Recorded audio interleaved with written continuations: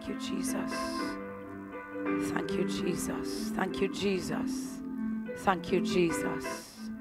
Thank you, Jesus. Saints, because of the limited time, I, I, I must share what's in my heart that God has put. Because many are struggling with how to repent because they're feeling things blocking. And that's because we need the break anointing to break yokes so that we are delivered of those things that are blocking. And sometimes we don't know what those things are. I want to share on what those things could be. And I want to say to you that next week, because I promised you this week, but that's why you always say, God willing, next week, I'm going to share on breaking soul ties, ungodly soul ties, demonic soul ties, toxic soul ties.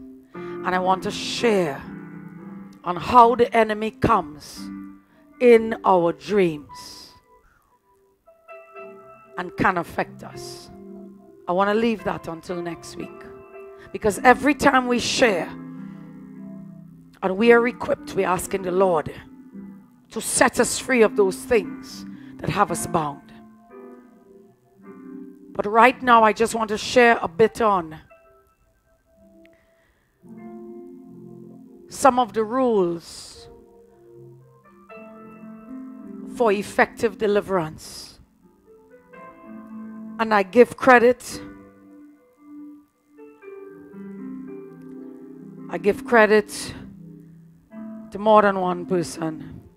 But most of what I'm saying, aside from what I've learned, Dr. Olukoya and Dr. Stella Emmanuel I give credit for what I'm sharing right now. Many of us, we are walking in a way where we know we want to go deeper. We know we want more breakthrough. As I started off today, I said, I'm hungering and thirsting for the Lord. My soul thirsts for you, O God, in a dry and weary land. Now, God will produce a thirst in us that we will want to spend more time with Him. But sometimes there are barriers to our spending more time with Him. So I want to quickly go through. I wouldn't get through all. Some things that you need to take note of in this season of behind closed doors. First of all, if you want to be genuinely and effectively delivered, of bondage. And I want to say to you, we're body, soul, and spirit. Our soul is our mind, our will, our emotions. Your spirit man is sealed where the Holy Spirit lives. That's the part that's regenerated. That's the new creation. When the Holy Spirit comes in, when you say, Jesus, come into my spirit, come into my heart. But your mind may be in bondage and that needs to be transformed. Your mind has got to be renewed. And there are other things and other areas, things that we've been exposed to before we were saved, even while we're saved. So, first of all, you must be born again. You can have demons affect you as a Christian. You are not possessed by Satan, you are possessed by Jesus Christ. But there are areas in your life you know you're struggling. Renew your commitment to the Lord, or for the first time, give your life to the Lord. You must be born again.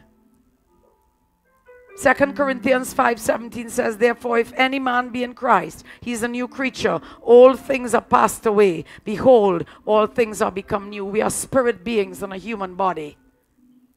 And our spirit man is a new creation. And our spirit man must mature as the Spirit of God increases in us.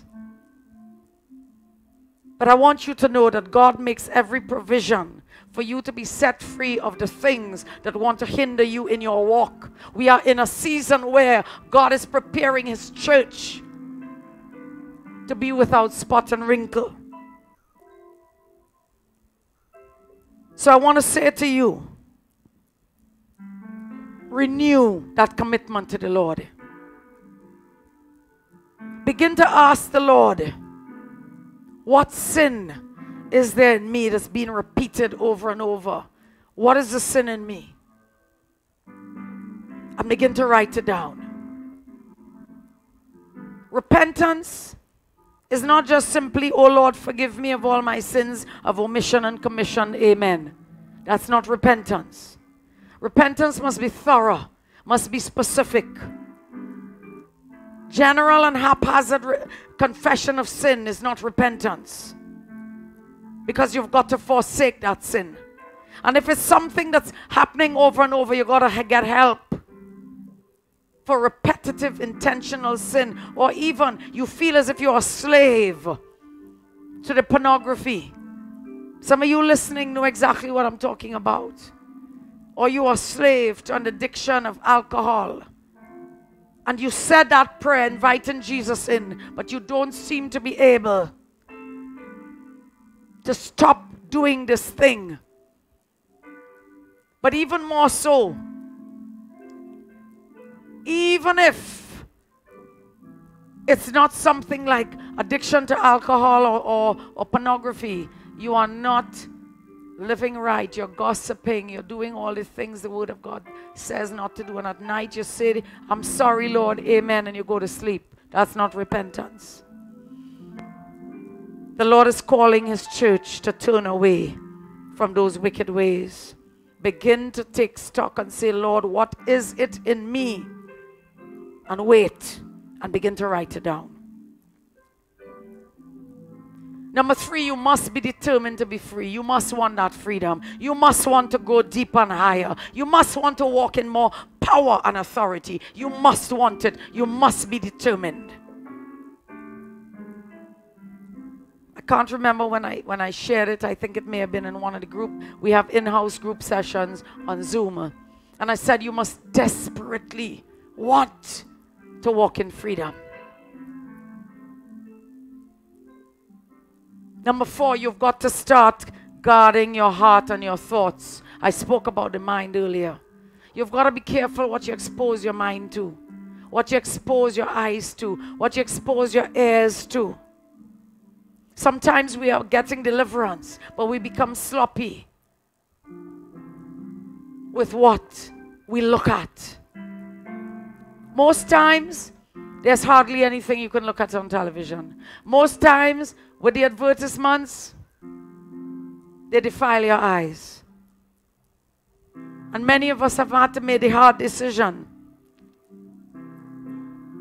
It doesn't even make sense turning on the television sometimes because we get defiled. We are not trying to be also spiritual. We simply are determined to be free and to walk and maintain that freedom. We don't want to walk in bondage. We will not accept what the world says you must do. We are not normal. We are peculiar people. We must love people, but we must walk holy lives. And I shared with you that your thoughts must center on Philippians 4 8. Whatever things are true, whatever things are honest, whatever things, whatsoever things are just, whatsoever things are pure, whatsoever things are lovely, whatsoever things are good report, virtuous things, praiseworthy things, saints, go back to the ancient paths. That's what we're to fill our lives with. Jesus did not defile himself, but he loved. We are called to love as Jesus loves. We are called to live holy lives. Whatever is contrary to these things, we are to avoid. So if you're going through deliverance and you're still a little bit sloppy with those things, that's why you're not being set free as you should because deliverance is not kept back. God wants his people to be without spot and wrinkle. You've got to be conscious of the fact that you're going to be wrestling because life is a battle against Satan. But God has given us the spiritual weapons. And I've said already before in Ephesians 6:12. For we wrestle not against flesh and blood, but against principalities, against powers, against the rulers of the darkness of this world, against spiritual wickedness in high places. You need to understand, and this is what a lot of us we fall short of. It's a wrestling match. Jacob wrestled the angel of God. You're not striving, but the devil doesn't want to let go of your mind. He doesn't want to let go of your emotion. He doesn't want to let go of your marriage. He doesn't want to let go of your children. You are not shutting up. You're not backing up. You're not backing down. You're taking up the weapons that God has given you, but it's got to start with us. And we've got to remove the planks. We've got to ask God to root out the sin. You've got to say, God, help me to love you with all my heart with all my mind, with all my body, with all my soul, with all my spirit, with all my strength. That's been sold out to God. You see, many times we think we're sold out, but we're still bothering about what people think. God is going to take you through a season that when you're called, many will not go with you. You are going to go through a lonely season you and Him. Because when you're sold out, nothing else matters. You love people, you don't isolate yourself from them. But if they don't share your passion for Him, it will not matter. If you can't walk that road, there is a stage you can't get to in your spiritual walk. God will take you through seasons of betrayal, seasons of false accusation. God will take you through seasons, various seasons, everything that Jesus went through, except we will not be crucified on the cross. Sometimes your friends, in fact, not sometimes, many will leave you. God will leave those He's planted. I want you to know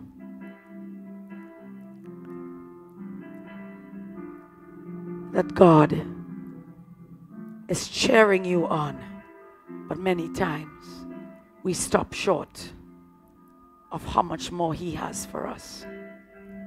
I want you to know, and I'm not going to go into detail about generational iniquity. I hope I may even have time next week. That's a teaching on its own, but it's up on more than one of our teachings on Life in Life Ministries. But sometimes you need to sit back. And the same way there's a spiritual mapping of principalities and powers and areas. You got to do a spiritual mapping of your family. You got to be aware of some of what was a pattern in your family. You got to go into your history and your spiritual background. Because the assignment in your family is the assignment against you. So you will know what are some of the things that you're coming up against? You gotta ensure and we and we equip you and we teach you how to do this. How to break curses and evil covenants that have been placed over your life.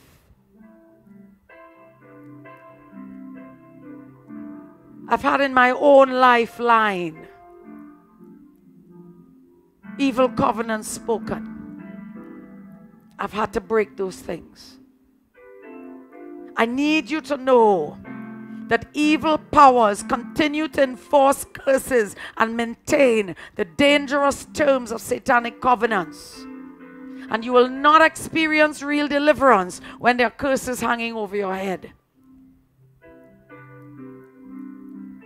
You need to understand demons, they are legal experts. They know what they have a legal right to. They know if great great grandfather was in one of those demonic lodges. And souls were bartered for in exchange for favors from Satan. They have a legal right for what was done, but you have the legal right to cancel through the blood anything that has been spoken over you in Jesus' mighty name. You've got to begin to ask the Lord Why am I finding myself struggling and, and, and something that left is coming back? We've got to ask the Lord, what are the entry points that I'm still not aware of? You see, when we pray with people and demons leave, we disciple them. Because some leave and some come back. You've got to learn how to maintain your freedom. And God, that's what discipling is. And God is going to show you. So if you fall into fornication, that's a demonic entry point. If you're always angry, that's a demonic entry point. If you're always gossiping, that's a demonic entry point. I'm not going to go into more detail, but we've been teaching this in group sessions. And I have to find a way to see how I can send those messages out of outside of private Life in Life. Because we teach this is what we equip the people with. But so many people don't understand. It's not one area, there are other areas, but God has made a way. You don't have to be overwhelmed. You just have to be on fire. God, I'm not going to give up. The blood that was shed on Calvary will set me free. But if I don't have some knowledge from the word, I will perish. I need us to know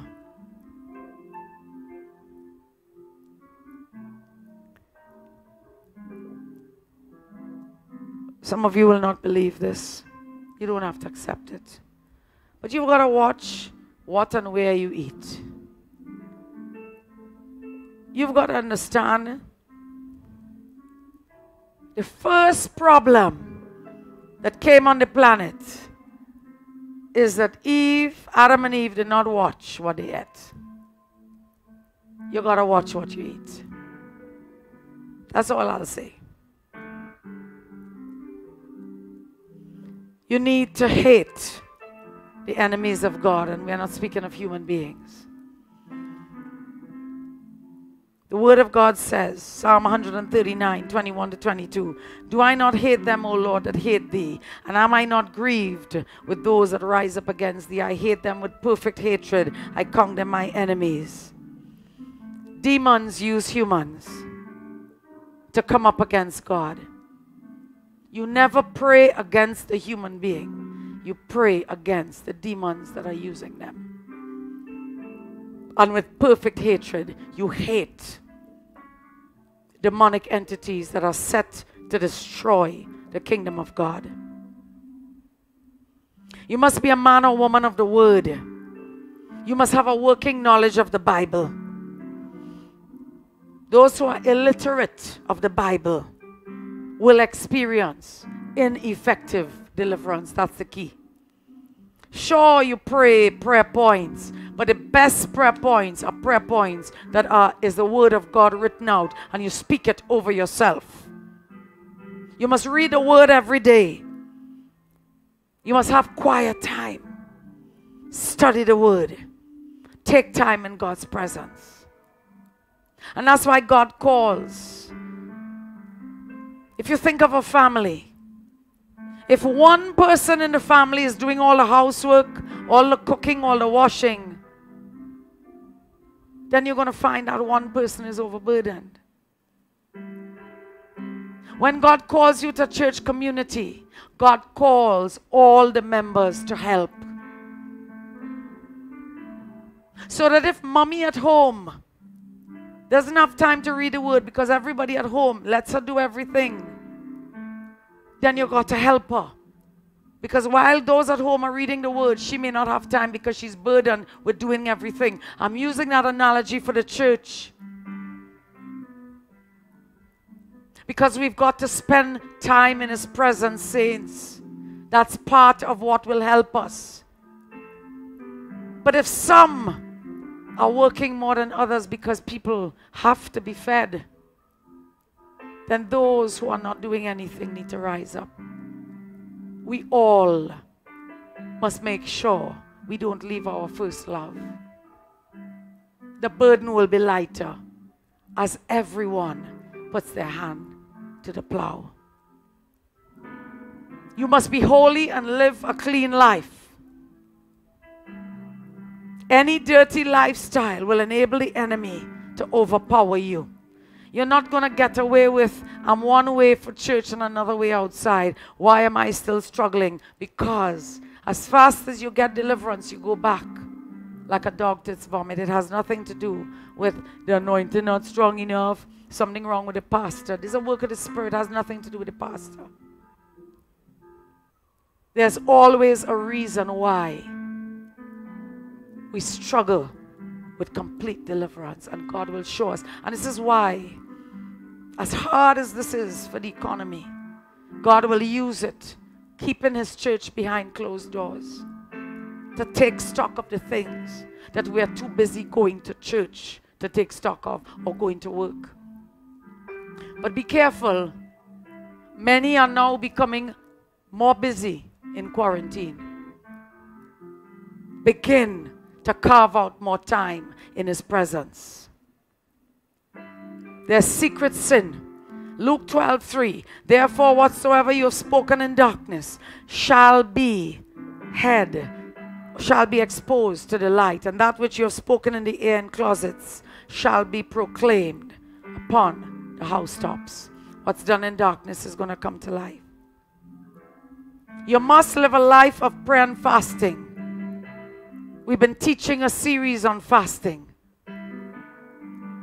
Every Christian today, in some way or another, should be regularly fasting. Fasting and prayer is an integral part of deliverance. Jesus stated categorically that some demons are resistant to gentle prayers. A lot of stubborn powers will only bow out when they are confronted with a weapon of prayer and fasting. Matthew 17 21. You must learn to be careful with your worship music, but you must learn to use anointed worship music. Like when David played the harp, Saul got relief.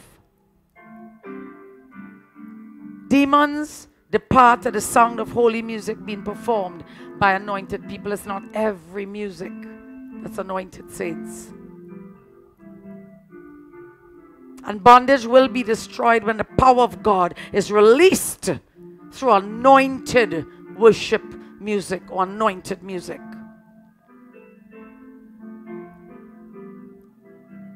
Remember, in Acts 16 25, at midnight, Paul and Silas prayed and sang praises unto God, and the prisoners heard them. And what happened? The earthquake of deliverance was released.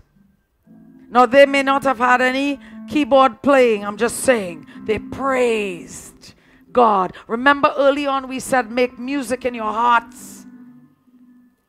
Oh, Father, I praise you. I bless you. I exalt you. You are most high God. You are El Shaddai. Oh, I bow down before you.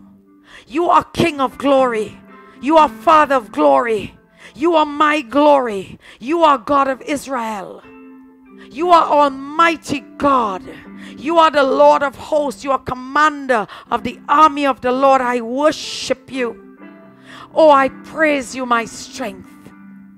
Oh, I praise you, Lord, my banner. I worship you.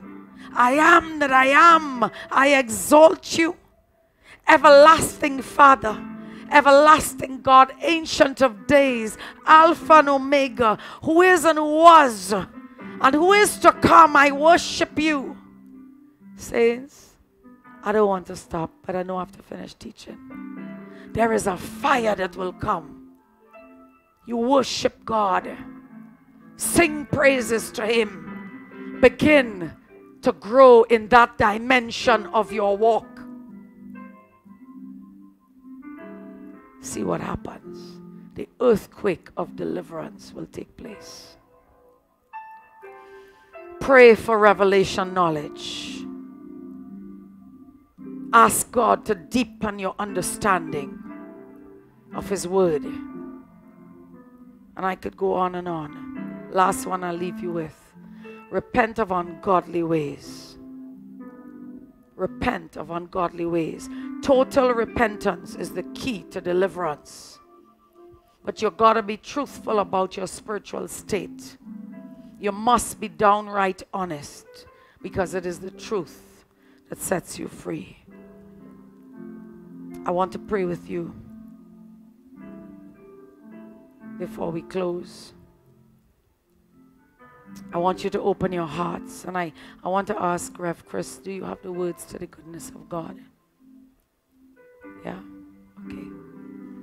Oh, he's such a great I just love the team that I have. I just have to tell you. I just want to give honor to my husband. He's such a great team member. Like, he just finds all the stuff that I need. I can't do what he does. He tells me, can't do what I do. We make a team. Glory to God. I want to say to you, open your heart. I wouldn't sing yet, praying for them. Hallelujah. Open your hearts right now. Father, release your fire. Release your break anointing upon the people. Oh God, in their homes right now. Father, right now, saints, I want you to come before the throne of mercy and begin to repent of your sins. If you are desiring God to do a work in you, then there are things in us that have to go. Father, forgive us for offending you. Father, we repent of the sins of our heart, our mouth, our mind, in the name of Jesus. Father, forgive us for grieving you. Father, we cry out that you may not judge us according to our sins, but according to your mercies. Father, we forsake every rebellious way which is against the kingdom of our Father. Let our weakness turn into strength. Let your strength replace our weakness in the name of Jesus. Holy Spirit, we plead with you. Touch us and give us a new heart that will obey you at all times. Father, I stand as I come in agreement with my brothers and sisters. We repent of all sins motivated by Satan in our life in the name of Jesus. We repent of agreeing with hell through any sin in our life in the name of Jesus. I bind right now every satanic power hindering your true repentance in the name of Jesus. Let every spirit that obstructs true repentance in the people of God burn by fire in the name of Jesus. God, rain down Holy Ghost fire upon every satanic mechanism that promotes pride in the name of Jesus. Holy Ghost, burn away through your fire, your consuming fire, every devil that's coming against repentance in Jesus' mighty name. Oh, Father, in Jesus' mighty name, set the people free from ungodly soul ties and immoral relationships in Jesus' mighty name on their behalf, oh God. Father, I speak the words, break the yokes. I renounce all hatred, anger, resentment, revenge, retaliation, and unforgiveness, and bitterness in the lives of the people in Jesus' mighty name. And I drive out those devils in Jesus' mighty name. Father, on their behalf, I renounce all vices and bad habits that have bound them in Jesus' mighty name. I renounce pride, envy, jealousy, covetousness on their behalf uh, in Jesus' mighty name. God, this year, fear will have no part in them. I renounce on their behalf all negative fears with all its torments in the name of Jesus. I renounce on their behalf all ungodly covenants, oaths, vows made by their ancestors all the way back to Adam on both sides of their family in Jesus' mighty name. Oh, Father on their behalf. I forbid and shake off, shake off of them every demonic straitjacket that has paralyzed them from expanding their tents in Jesus' mighty name. And Lord, let there be a spirit of revival among your people and upon your church in the mighty name of Jesus. Fan that flame of revival upon your people, O oh God, and upon the church in the mighty name of Jesus. Father, I ask you right now that your people will receive wind of the Spirit blow, blow upon your people, blow upon your people. Blow upon your people right now. Refill, refresh families right now. In the mighty name of Jesus.